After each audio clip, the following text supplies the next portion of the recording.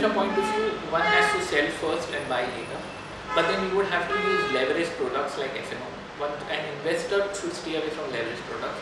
So the ideal way, once again, would be to use the mutual fund route and that would be SIP route.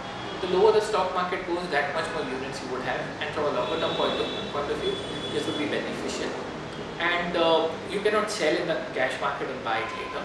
But if you have you have stocks and you are bearish on the market and that particular stock you can sell some of the stock to buy it again later. But one should not uh, disturb the basic investment if it is from a longer term point of view as it would not be possible to time the market.